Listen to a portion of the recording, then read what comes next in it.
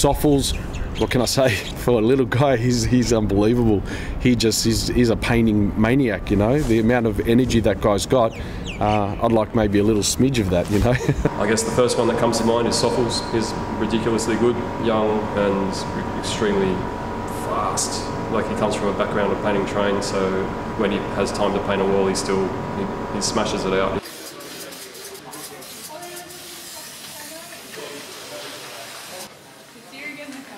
His style, his characters, amazing. Uh, scale of work, um, just brilliant. He's probably one of my favourite writers. Awesome guy. Wish he was an asshole because then you could at least hate him for something.